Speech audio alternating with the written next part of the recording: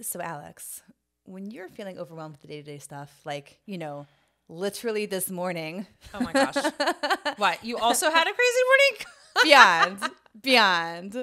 But how do you, like, how do, how do you know, like, you know, like that you are feeling overwhelmed?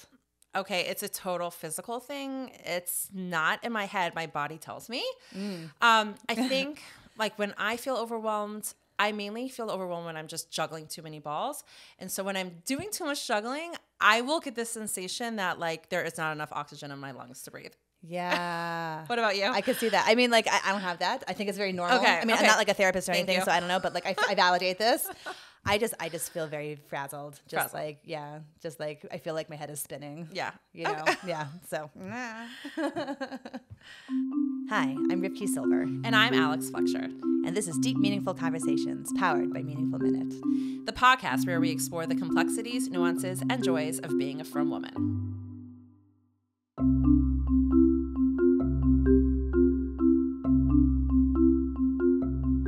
Welcome back to DMC. We are so happy that you've joined us again.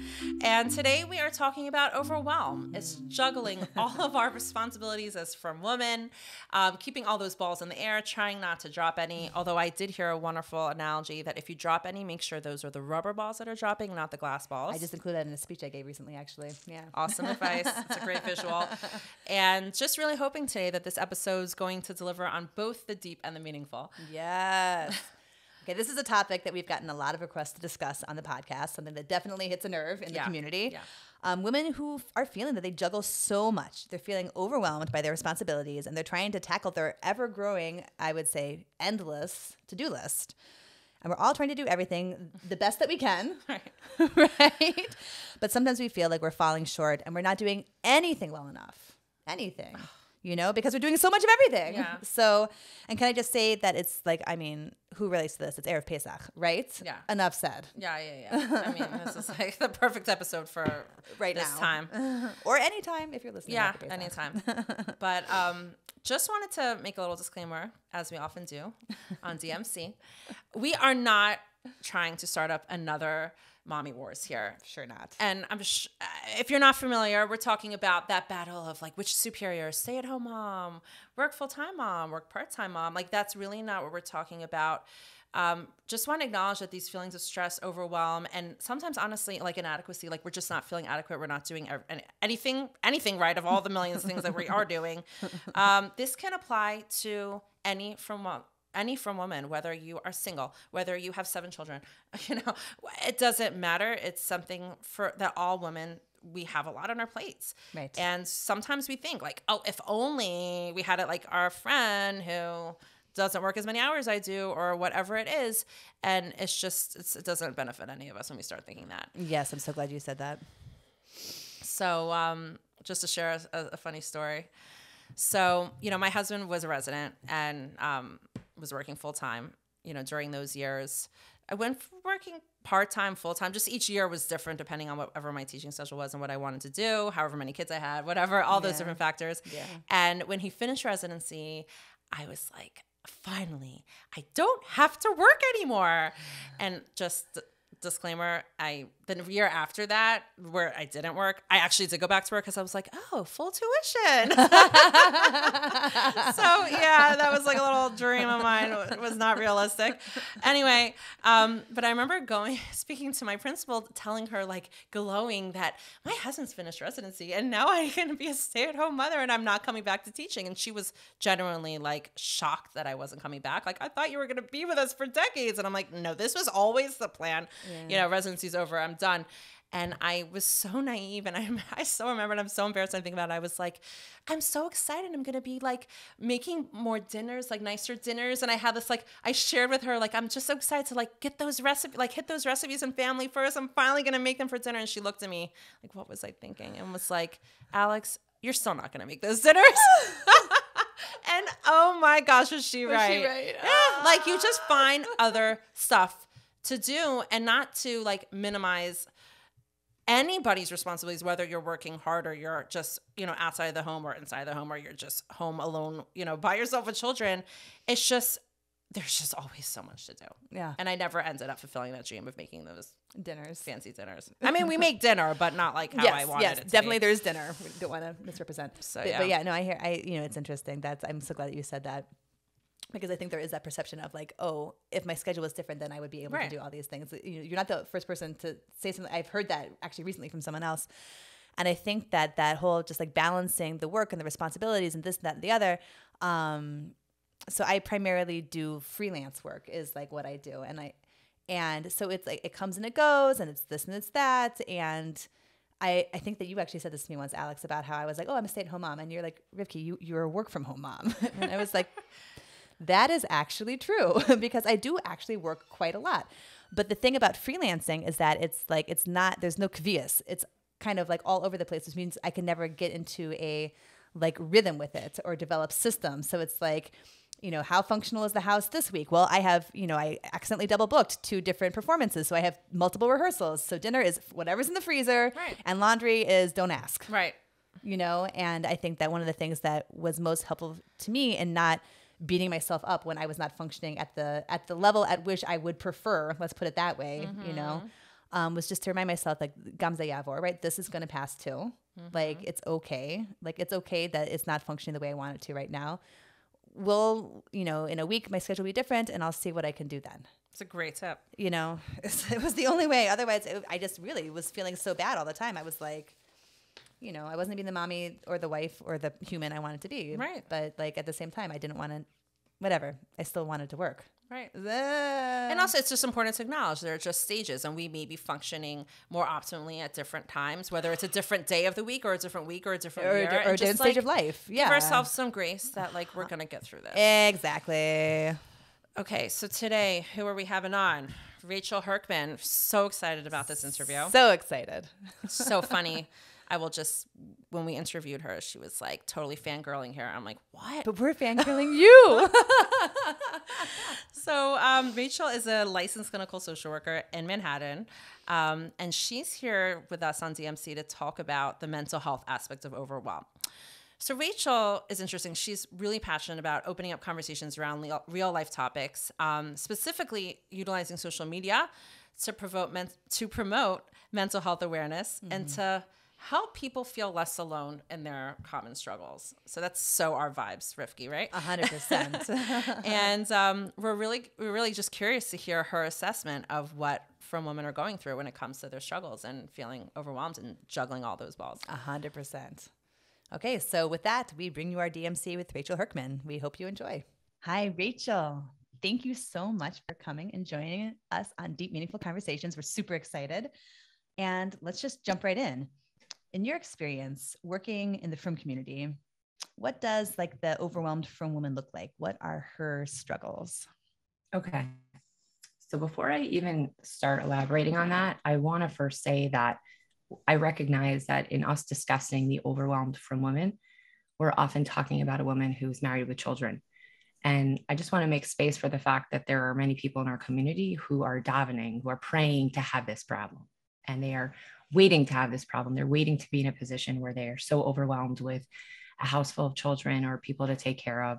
They're waiting to find a partner or they're waiting to have children or whatever it might be. And so I just want to put that out there in terms of that. I recognize that for today, we might be focusing some content on a specific type of overwhelmed frum women, but also recognizing that there are people who would like to be more overwhelmed in that way. And that it's also okay to feel grateful even when you're feeling overwhelmed. In other words, that this idea of, oh, I should just be grateful because I have this, we can also make room for that alongside the fact that we're feeling overwhelmed. So just want to put that out there as a disclaimer that all those who are listening, who are waiting for that sense of overwhelm, I, I, I hope, I hope, and I'm thinking of you. So, in terms of your question of what does that look like? So, I think that the overwhelmed frum women does not have only one look. And for many people, that's part of the stress is looking like you have it all together, but mm. deep down feeling very much like you're falling apart. Right. So even right now, I look put together, but 45 minutes ago, I was, I'm shoveling in my my yogurt and I'm going over this and the kids that right. So right, but I don't I don't look right now like I might have been over. And I don't know if I was even overwhelmed, but I had I had a few different things pulling me in different directions, which is what happens for a lot of frum women. So in terms of what does that feel like for many people. I would say this. So that varies based on stage of life. There are people who they have a lot of caretaking responsibilities. It might there might be financial obligations, there might be pressures related to their health, related to juggling a lot of different things. If they have a job, they have a career, there's that piece in certain communities. If let's say a woman has a husband who's learning a kollel, so then she has more pressure on her in terms of the job piece. Even just chesed, our community, we value that it's not just doing what you're doing for your family, but we have a certain culture of pitching in and and it's beautiful. I mean, you mentioned before about Chaverim, my husband's on Hatzalah, right? So we really as a community, we value being part of these different things. And so the pressures of that it's not just, okay, I'm taking care of these things, but I always need to be, or, you know, people feeling a sense of I should be doing more. I think the chesed piece, I think even just the making time for taking care of your kids, school, school things, talking to parent, you know, parent teacher conferences, friendships, right? Even I find a lot of a lot of mothers find that they've lost some of that freedom to have time to be with their friends and that maybe they're making friends through their children. So meaning if they're at the school play, maybe they're sitting in the back hanging out with someone, but the idea of having a lot of time to go out with friends or be in touch with old friends i find that that's a challenge for people as well even right. hobbies we, we, talk about um, yes. like carpool we have friends with carpool who my friends with who i'm carpooling with that year those are my friends right it's very it's, it's very it's very situational it's very situational i find and my friends and i discuss this that it's sometimes easier to make friends before age 25 because some of those friends in those earlier years you were in the same place at the same time. You were in school, you were in camp, you lived together. So there's a depth to that kind of friendship. You amass these, you know, certain banter, inside joke. I have friend, we still have 30 year old inside jokes that we're texting each other about because we saw something that reminded us of that. So even just that, I also think even time for spirituality. I find a lot of frum women find that after they get married and they're busy in the grind and they have their kids, they they miss having certain moments where they were able to, let's say, daven or go to shul or learn, and they're trying to squeeze that in. And that's not to say that men don't have that same challenge, but I find that for women, that's something that sense of spirituality is something that uh, many people miss. Before I keep rambling, is there anything mm. you wanted to? Because I know you guys aren't in New York, so you don't interrupt people. I, I, was born in New York City. Um, no, but it's interesting. So I, I'm curious why you're mentioning the spirituality piece. Are you saying because that's lacking? That's how is that impacting our sense of overwhelm? I think it can lack. A, I think it, I think that lacking can affect the sense of overwhelm because there are people who really find that that can. There are not everyone. There are people who don't feel that they get energized by that. But there are people who really feel that the spirituality piece helps them and gives them a sense of meaning of like, what is this all about? It's just, is life just a series of filling up lunch boxes, right? There's, mm-hmm. but there's, or between carpools, right? There's more to living in that way. So that's where I think the spirituality piece can, for some people, give them a sense of meaning and a sense of energy, take them out of their head a little bit. But again, this varies based on on different people. Mm-hmm. Oh, and I, I I forgot to ask, I forgot to mention, even just cooking and Shabbos and Shabbos being a hard deadline, right? Every Friday we have a hard deadline. And yeah, we have 18 minutes, but we have a hard deadline, right? But after every that, that's like, it. right. I, every week I'm like, this week it's not going to be a buzzer beater. This week I'm going to be those people that light candles 10 minutes before. but that, that sense of a hard deadline and, and cooking for Shabbos and cooking for holidays and prepping for holidays. Again, these don't these things don't automatically make someone overwhelmed. That that's also the piece here. I don't think these things automatically make someone overwhelmed, but having all these different pressures may contribute to that. I feel like I probably forgot something important there on that list, but mm-hmm. whatever I think, it I might be. Covered, yeah, a really nice variety of all of the things that do contribute to when when we're in a certain headspace and we're being pulled in 15 different directions from all of the obligations like what does that what does that look like i think that you covered a lot of the bases and i would add to that that one of the challenges i find specifically for frum women is we also have a certain value of being selfless if you go to any shul dinner or any school dinner or read any write up that's mm. describing someone's amazing characteristics, and they'll say, they're so selfless, right?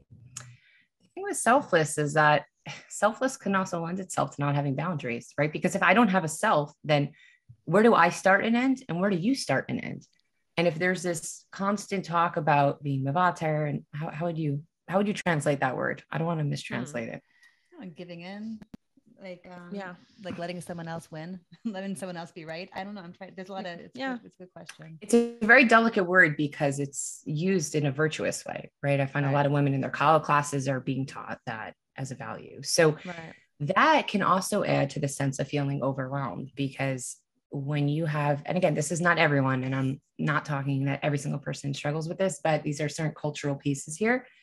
When there's a concept in your head that the ideal is to just be completely selfless that can make someone feel more overwhelmed because then it's harder to say no to things.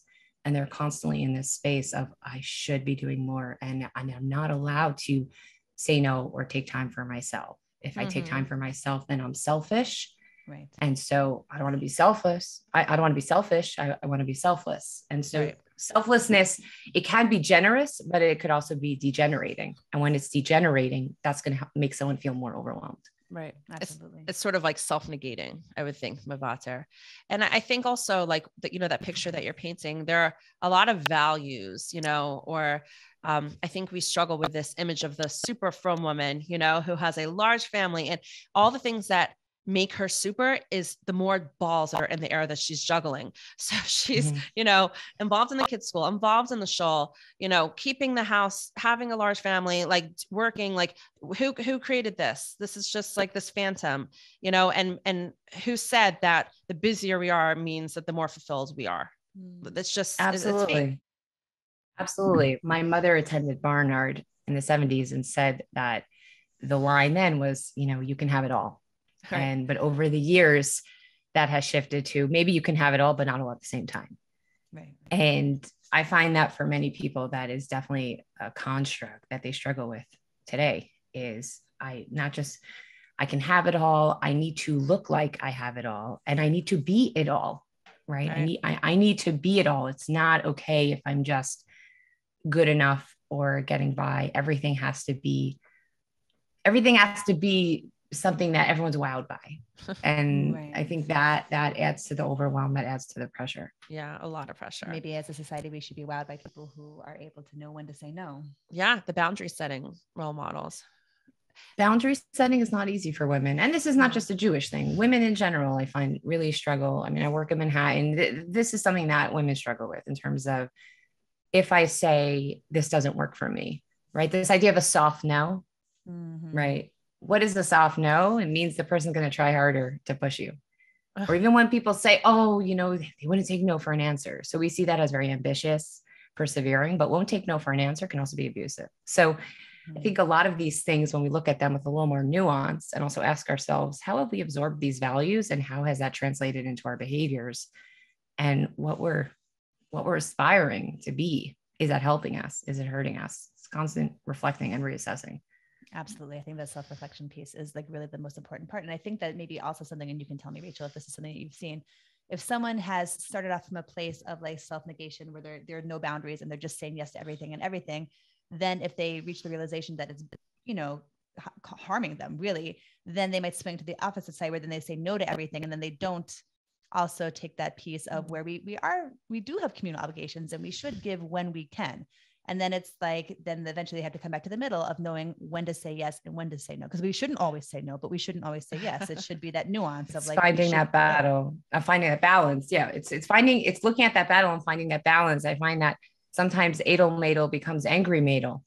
because she's always saying yes, yes, yes, yes, yes. And then, then all of a sudden it's, well, what about me? Or what about the fact that I keep saying yes to things and I end up getting hurt in a certain kind of way? I think part of boundaries over time for people is that you start to learn, it's like a muscle. I think when you're starting to work a muscle, it takes time for it to get stronger.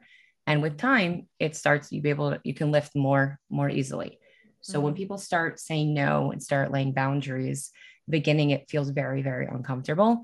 And in some circles, in some families, boundaries are betrayal, honestly. It can really feel like betrayal. Like, what do you mean? You've always been a yes person. You've always said yes. This is, we are yes people. And we describe people, by the way, don't we? We'll, we'll describe people as they're a yes person. Right. Right. And a no person is mm, no, don't ask, no fly zone. Right. So, even just this idea that normalizing and naming that it's not easy to set boundaries but not setting boundaries contributes to that feeling of being overwhelmed. Mm-hmm. Absolutely. So this leads very nicely into the next topic we want to discuss with you, Rachel, which is burnout, which I know there's been a lot written about that lately. Um, and I'd love to hear your perspective on like the relationship with between burnout and juggling our responsibilities as frum women. Sure. So I first heard about burnout when I was becoming a social worker. As mental health professionals, burnout is something that's often on our radar as a concern because we are in a space where we are engaging in work, where we're carrying other people's pain, we're sitting with them in their pain. And for people who aren't mindful of themselves, that could really lead to a sense of burnout, especially when there are things going on in the world that are very overwhelming. Right now, we're looking at burnout for many healthcare workers, very mental health, very, very, uh, you know, for mental health professionals who have been very involved with trauma work there's always a high rate or a high chance of burnout. So this is something that's always been on my radar. I think now people are learning about it on their own more, especially with what's going on. The three things that I would say can characterize burnout, to sum it up at the risk of oversimplifying it, is number one, a sense of like depletion and energy depletion and exhaustion, which I think that's more than just, oh, I'm so tired. I didn't sleep last night. Mm-hmm. It's this feeling of even if even if you do get a good night's sleep or decent night's sleep, you're still waking up in the morning and feel like you got hit by a Mack truck. Hi, mm-hmm. that's and, what I felt this morning. Literally. and and I don't know why people think it's normal to tell people, oh, you look so tired. I know, right? No, I always say, you know, because there are times people have said that to me, and I said, I actually got eight hours last night. So, and that's why we're putting on our makeup furiously in the morning, covering up our bags. I I often joke that you don't need to tell someone they look tired. Most people know that they're tired. they don't need an outside person to let them know, I think you're tired. So, right. So there's that energy depletion and exhaustion that's beyond just physical. It's it's this draining, like I got nothing left kind of feeling. Mm-hmm. That's number one. Number two is there's often an increased, a certain mental distance. In other words, people feeling a certain like maybe I'm showing up physically, but I, I'm not there. Or there's this glass wall in between me and everything going on in my life. And it's very painful for people because there are there are ways where burnout can mean that someone is physically stuck that they can't get out of bed and this often can look like depression also but there are times where burnout might have a very obvious physical presentation, but there are plenty of people where the burnout does not mean that they aren't showing up for things that you're not seeing them with a smile on their face. But there could be that it's like this glass wall of I'm here, but I'm here, but I can't really touch it. I can't, I can't really totally be in it. And that mental distance is there's a numbness often with that too, where people recognize I'm just not feeling things as much as I used to. It could be for better, for worse, meaning they're they're not feeling they're not even necessarily feeling angry or sad. They're just feeling like a certain mental distance from things. And then the third thing, right? So we had energy depletion, mental distance. And the third one is a, a higher negativity, a certain cynicism. When people are feeling burnt out, there can be a lot more of just this. And you see this on social media. You see the mm. way people are fighting constantly and you kind of want to be like what's this really about mm, right. you don't you're the way you're talking to this stranger like yeah. i don't think they're the one who are you really mad at right now and I'm such a therapist the way I'm talking, but it's like, who are you really? Are you really angry at Tim in Montana who you never met and he says something you don't agree with? Right. No, there's just there's a burnout that kind of is this undercurrent that it drives so much of this of a, neg- a sense of negativity. So I would say those three things can often manifest with burnout. And there's with burnout, there's often something chronic about it. Mm. It's not just I had a rough day or a rough week or even a rough, rough month or chapter. It's like a rough decade, meaning not going to say you had a rough decade, right? You probably call it something else. So there's something often very something about it that doesn't feel like it's letting up and that quick resets don't feel like enough so going away for a weekend or getting a you know good night's sleep if you like that certain things being resolved mean and, and it's still there. Mm-hmm. it's still there. So it's like more like a systemic problem in a in a sense. There's something about the the way that life is structured or some some things that need like a, a greater overhaul than just a weekend away to like sit and for like, sure. to... and with burnout you're also looking at something that there's a shift from a certain baseline. And that's why it's so personal to each person. There there's some people that their burnout and their level of functioning at burnout is what other people wish they could be doing hmm. okay which can be very lonely for them because if they were to say to people yeah, I'm I'm just not myself, which by the way, that that I'm just not myself thing, you know, very common. Mm. The I'm just not myself, or I haven't been able to to do X and Y anymore. And the person's response is like, really? I wish I could be doing X and Y. So it has to do with a certain baseline place where you used to be. And now you're you're just you're feeling like that place you used to be is so far in the distance that you could see it now mm-hmm. that it's and it's uh, i would describe it best as it's grieving vibrancy hmm. it's a oh. sense of vibrancy that's lost most people when you really peel it down and you talk to them of like what do you really want in life? What you, or what are the what are the experiences that they miss or the people they miss? It it's often there's a sense of that they felt vibrant that they felt alive that they felt connected. And with burnout there's there's something there could be something in the way of that. Mm-hmm. Mm-hmm. so you could be um, you could experience burnout but not necessarily be clinically depressed. Like it sounds like there must be some kind of fine line between those two. Right. And there's without oversimplifying it because i'm very careful when we're talking about mental health diagnosis that right. yeah they're absolutely just because somebody is feeling burnt out doesn't mean that they quote unquote you know they meet the criteria for depression but I do think that it's so personal that there are people who, yeah, they may not check the boxes of major depressive disorder, but when I say to that person, what's your sense of where you're at right now? You know, you look at the last five years of your life, or you look at the last year, and they're they lost themselves. Hmm. They lost a part of themselves, or they they are so they're different from a certain baseline. Now, the goal isn't necessarily that they're going to get back to that baseline. Mm-hmm. You know, I think mm-hmm. that that sometimes, by the way, can add to the overwhelming sense of pressure. Even just right before we got on, I saw an email I got about a Jewish workshop for women on relationships because all the relationship workshops are targeted towards women. And it, the way yeah, we got to do something about that, Rachel. I don't, I, don't I, I, think that's probably for another episode. Why do we have that? Why is that so lopsided? Right? Like Why marriage. So Work on your marriage. Ladies, they're trying the, the, the women are running, and then yeah. if they want to do a male event, they have to also have like rolling cigars and one yeah, exactly. scotch at yeah, the event, so that nobody thinks you might be going for the lecture. Right. right. Exactly. Steaks. oh it's, I'm gonna keep yeah, my mouth shut. yeah. yeah, we'll save it for another episode. We're gonna save it. Save all our thoughts. Saving it. We're all we're all we're all we're all being very good right now, right? Okay. Gold, gold star gold stars for all of us. The um right, but in terms of that question you had asked, right? You you had asked about the oh, I was saying about women with the, the email that was saying, come to this yeah. workshop. And it, and the the the line in the workshop was, you know, get that spark back that you had under your chuppah. Mm. We're gonna help. I'm gonna help you reignite that spark and that passion. And I read it and I was thinking, oh, this is so Hollywood, by the way. You're playing. Yes. You are you are actually playing off of people's fantasies. Oh, totally.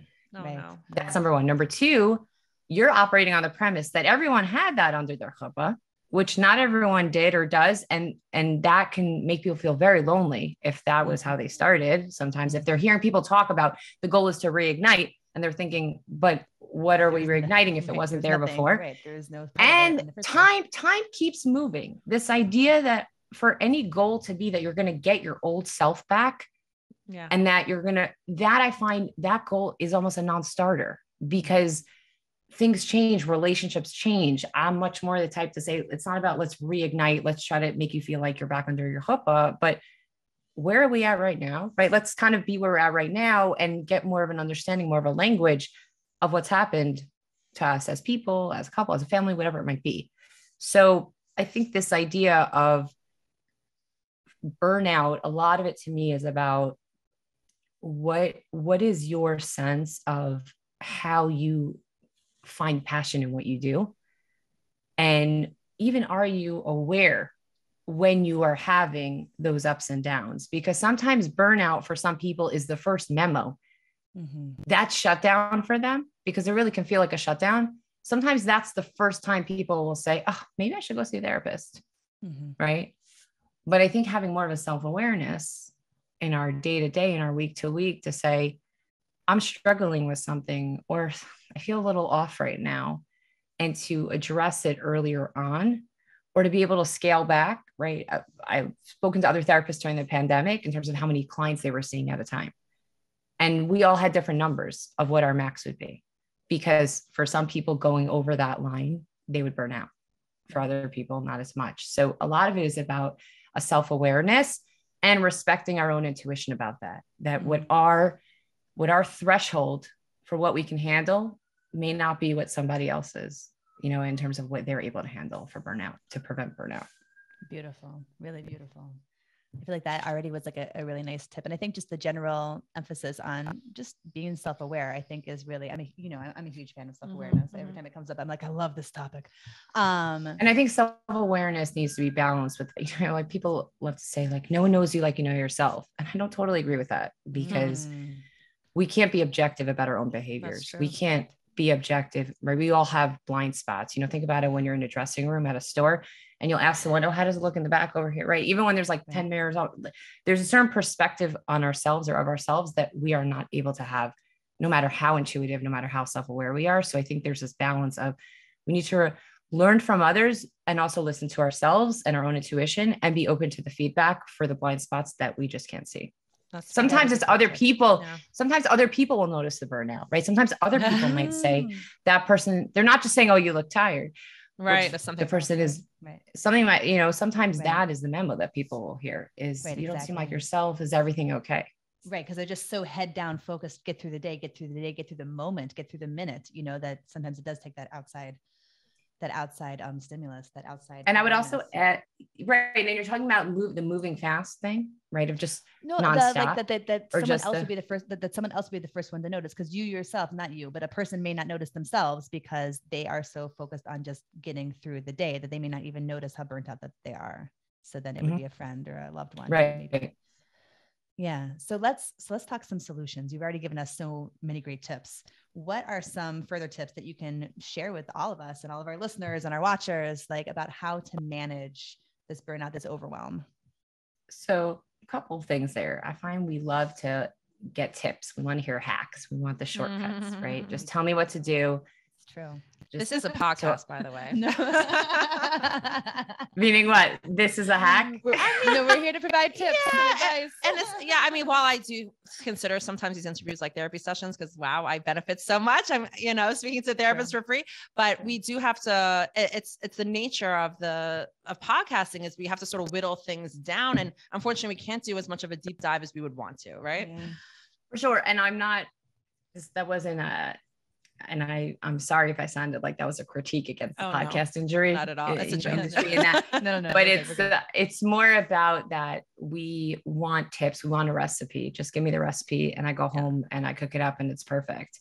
Mm. And I think it's helpful to also address to recognize okay, I'm looking at what's happening on the ground in terms of behaviors, but also what are my thoughts and beliefs behind that, right? And CBT, but this CBT didn't make it up. You see it in the Torah. Mm. This idea of thoughts, feelings, and behaviors, the cognitive triangle, and how they all connect with each other. And so when we're looking at our lives and our day to day, especially when we're talking about feeling overwhelmed with responsibilities, I find it very helpful to kind of take a step back and first say to ourselves, where did I get my ideas about what my adulthood is supposed to look like in terms of my productivity? Where, where did I get those ideas? What did I see in my own house growing up? There are some people that their goal as a mother is to recreate what they had, or sometimes it's their goal to recreate the opposite of what they had. So it's that adds a lot of pressure to things. In other words, that if people grew up seeing a certain standard and then they're trying to recreate that, that can set certain pressures. I am going to give an example.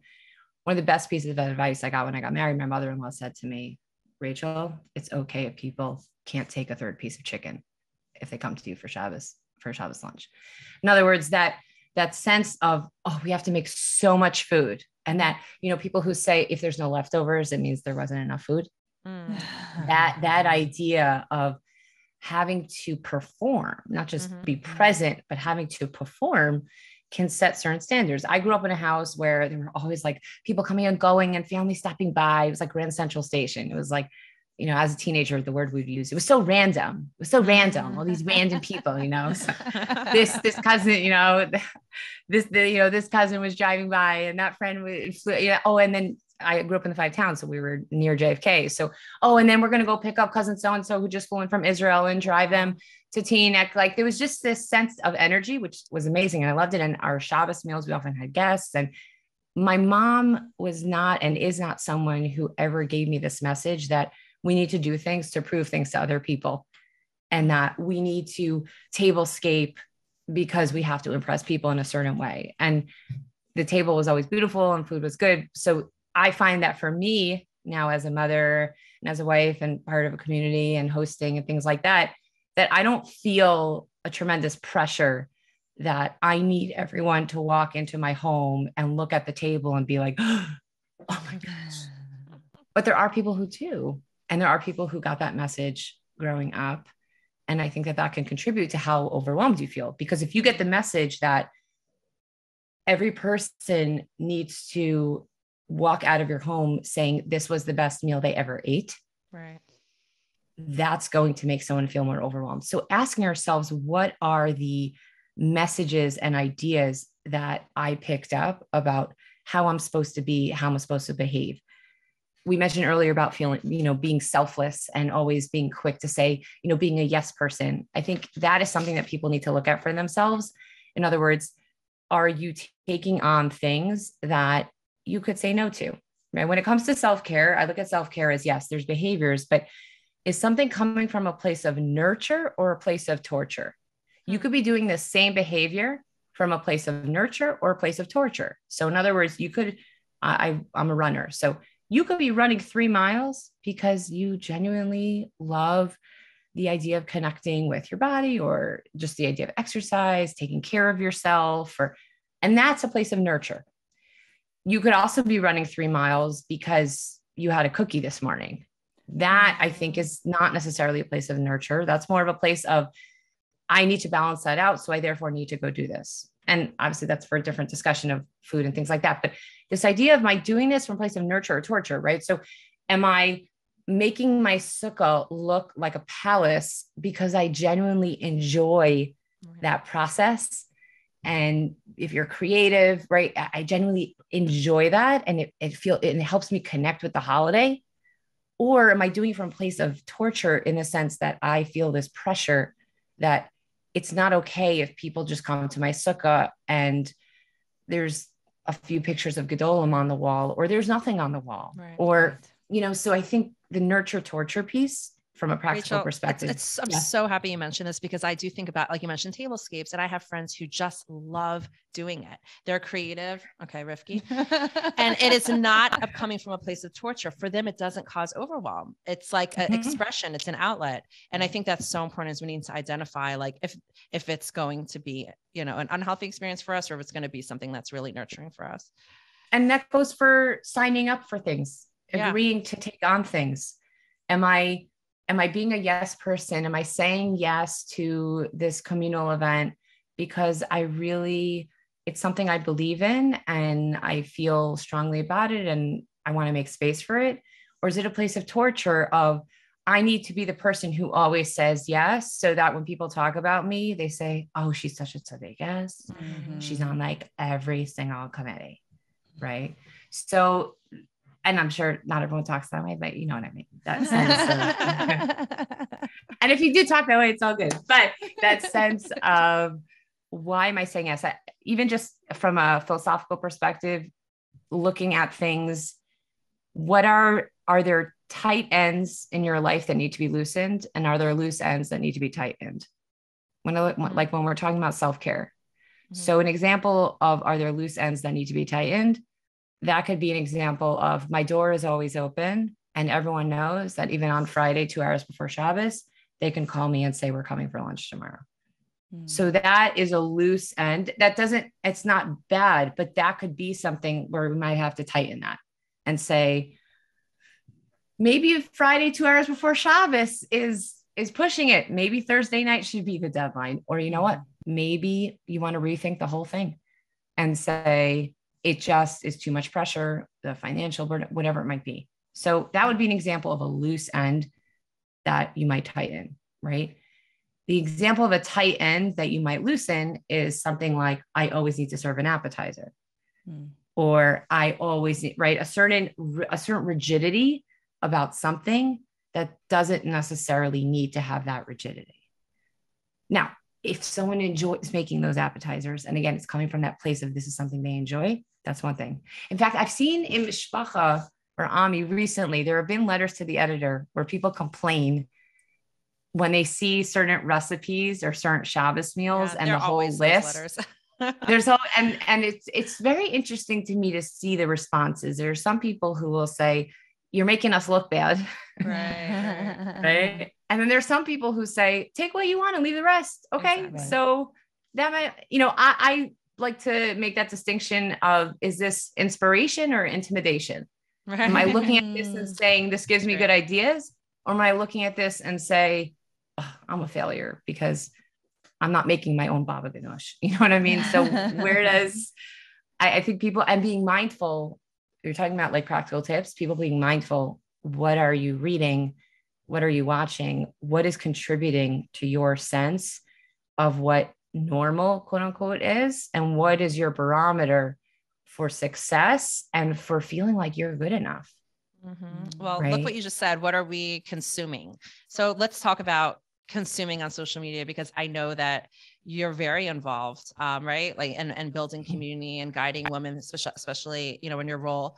Um, tell us your role at the Layers Project. Just reminds me, clinical. So I'm the clinical director. So Clinical when director, the Layers Project yeah. turned into a magazine four years ago, so Shira Lankin Sheps, who's also a social worker, said, "Okay, we're going to be talking about mental health topics. We should have a therapist around." So Right. that's how I was brought on, and my work there is to really be looking at: Are we putting out content that is sensitive for people to read and sensitive for people to share? Because Mhm. there's always this sweet spot of we want to talk about real things that are going on for people, but how do we deliver that to them? And also recognizing they need to be able to, I, I look at it like this someone needs to be able to read something and then put their phone down and then do an errand. They, they're mean? often what, meaning when you're reading something loaded and whether it has a trigger warning or not. So people, because of smartphones, you're often reading things when you're on the go and you're you're not Yeah. necessarily sitting with your cup of tea at your table Processing and then it, afterwards saying, "What does this feel like for me?" Right? Most people are not doing that. That is why social Right? media is inherently triggering. It's because of the on the go nature of it. And like we're not prepared for a lot of the stuff that we consume. So what I what I'm curious about is on social media, you know, many women clearly find community and many mm-hmm. women feel that it's a place that they can share their struggles and and you know find validation for them. So how has social media and this whole, you know, new climate impacted women's attitudes towards struggles? Mm-hmm. Absolutely. So I do think community is it's interesting. I read a study that came out years ago, must have been like 15 years ago, and it said that in times of crisis, women tend to do what's it's they said tend and befriend. That when women are in a place of struggle and crisis, they're more likely, excuse me, to turn to other people and find their people. Mm. But in the study, they said men are a lot less likely to do that. And there's more isolation in that way, which I think this is just one of my theories why there were some people when COVID first started and it was really bad, why there was such a defiance with minyanim in the morning. Because I think that there were men who that was the only place where there was any kind of social Uh-huh. outlet to connect with other people Yeah. Mm-hmm. because otherwise there was there was nothing left but that's obviously a different discussion but in terms of in terms of where social media plays a role here so besides the fact that it's very distracting in other words that when you have something that's always taking your mind off of what's in front of you Mm. whatever's in front of you then needs to be a lot more exciting to be interesting because if there's always something in your hand that seems to be more interesting and you're getting the thrill from what's in your hand so then whatever's in front of you may not bring you that same happiness or joy Hmm. and from a serotonin dopamine neurotransmitter perspective this is very significant in Yeah, terms right. of how our technology affects our ability to actually enjoy things because that's the thing when people feel overwhelmed, but they're also feeling joy and they're also feeling payoff, that's a different discussion. That's interesting. Yeah. But when you're feeling overwhelmed and you're feeling burnout and you're not feeling any fruits of your labor, that's where we also really we want to get curious. What's what's going on there that we're not able to have the moments with let's say feeling overwhelmed but also feeling payoff moments to some of that to some of that work. So in terms of social media one of the issues is that you have a sense of community. You can find your people. If you've been through certain traumas or challenges you can find those little niche communities little instagram communities. You find your people which is amazing right? But there's also a lot of comparison on social media. There's a lot of Mm. jealousy. It is so easy. You look at other people's lives and no matter how much you know intellectually. There's a part of your brain that is separate from that intellectual part and you're seeing what other people have what other people are doing and all that has to take is a few seconds of seeing that tablescaping let's say or that how you know their shalach manos how that looks or, or or even just how the person looks Mhm. Right, right. right? How they put themselves together, right? Most Right. people don't look like they walked out of a magazine shoot. Most people don't. Yeah. Yeah. Yeah. So even and just that's that what these posts really are our magazine shoots with people who are doing their makeup and you know the Right. curating it's their literally, outfit. it's it's literally, it's literally shot my look. Literally shot my Yeah. look. Here, it's literally shot my look. So it's that, and again, I I don't want to sound like I'm throwing everyone under the bus on social No, media. I don't. have seen incredible things happen because of social media in terms of the grassroots aspect, the the empowerment that people feel in terms of challenging shame, stigmas, opening up conversations is amazing. But the sense of jealousy or the sense of insecurity, right? It's so overwhelming for people when they feel like I have to do X and Y in order to be at just the regular level of what other people seem like they're doing, even if those Mhm. people are not doing that, right? There are many fashion bloggers who will show that they'll take all those pictures on the same day. So it's not that they look like that every single morning Mm. Right. it's and, and and I'll be honest, even the people who do post what their outfit is every single morning, I have my own feelings about that in terms of what's happening here of our sense of modesty. And and I do sex therapy. I'm not someone who's saying, oh, we're not allowed to be out and put no, no, but it's that what's happening on social media is that it's become normal for people to be posting videos of themselves in their bedrooms Mm. with which to me is so fascinating from tznius perspective, how Hmm. that became normal. Okay. Yeah. Oh, this is another Yes. episode. But that's a whole other episode. Yeah, yeah, yeah, That's yeah, a whole other yeah. episode. But my point is, is that social media shifts norms. Right. It Yeah, shifts norms in a way that sometimes if you're only talking to other people who, if you're only talking to other people who are on social media, then you are only talking to people who may buy into that norm. And Yeah, sometimes when you explain certain things to people outside, they're like, Right. what? Totally had that experience. Well, yeah. this- So in terms The echo chamber. Yeah, you were I, saying I something. asked. I, no, no, I was just thinking like I, I'm, you know, when when people are going through a specific thing where they need to find a community online because maybe they don't have anyone in their actual Mhm. physical location. But what hap- that that for sure serves a very specific purpose. You know, when you need the validation, you need advice, you need to know, you know, things that can maybe have helped other people. But what happens if a person finds themselves where they their community is only online and they don't have any actual, you know, has could that then also create a false sense of community, but we still need actual community where we live too. Mm. Have you found like that is also something It that depends. I think it varies. I don't talk about specific clients. I talk about patterns, not people. So I would just say that people are different in terms of being more introverted, being more extroverted.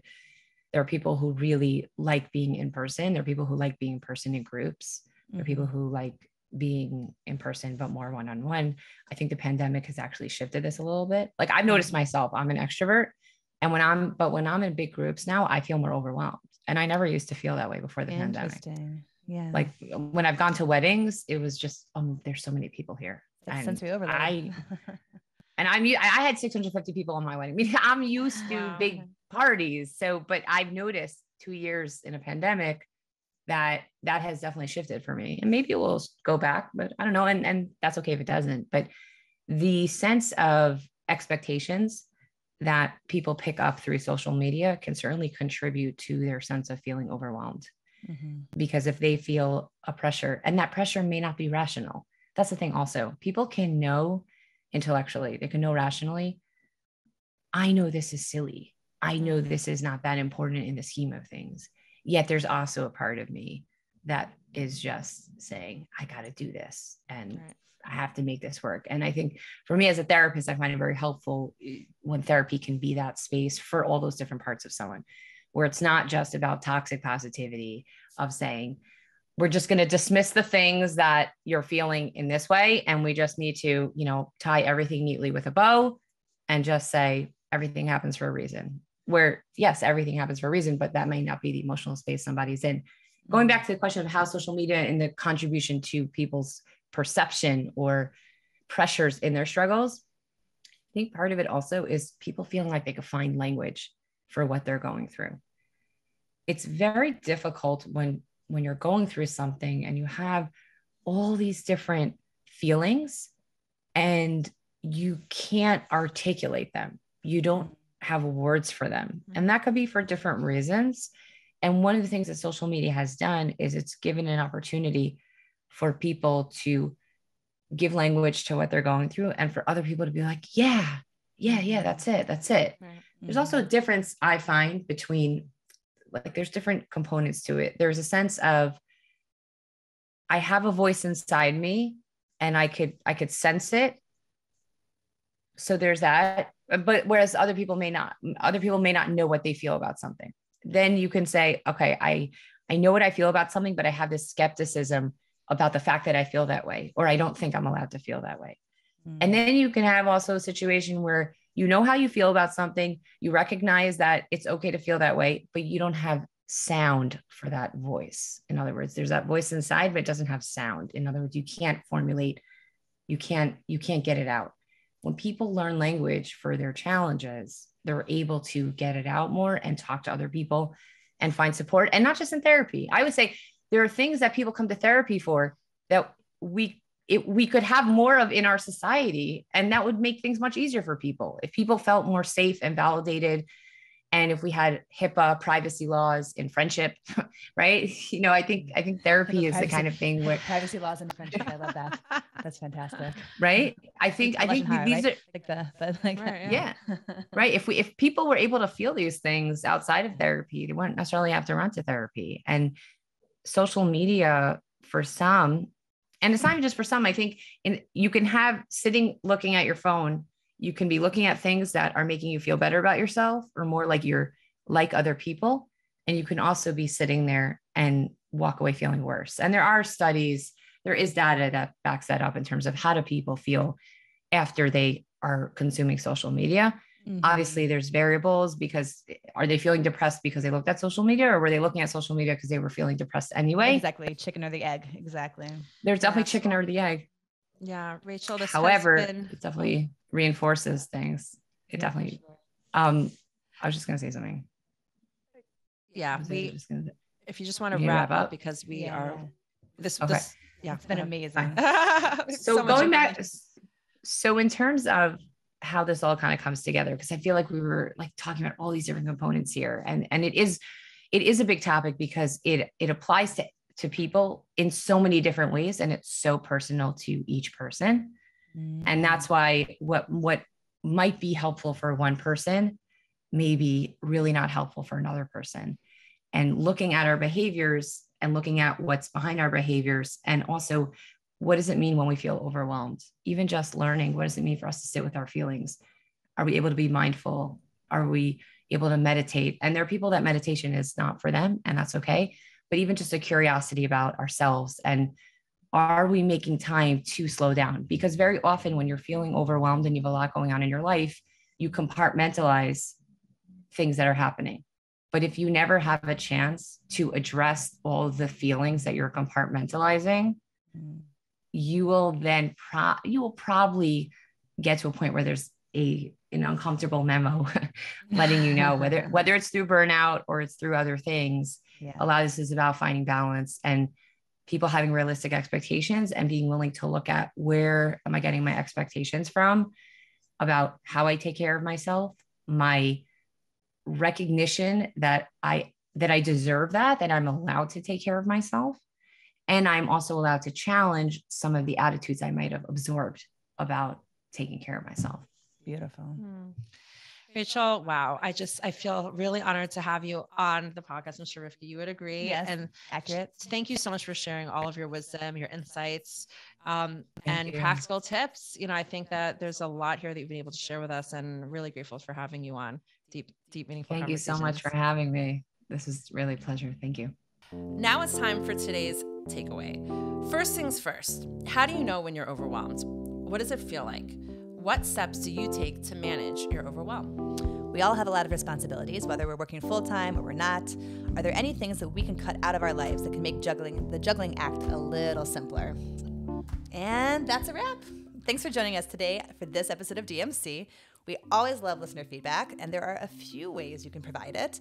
First, you can rate and review our podcast wherever you get your podcasts. It's super helpful, so please and thank you. And you can also leave a comment on our YouTube video for this episode. Yep. As always, you can email us at dmc at meaningfulminute.org. And speaking of Meaningful Minute, of course, we want to thank them and the entire Meaningful Minute team, giving them a huge shout out for all the work that they do to making DMC happen. See you next episode.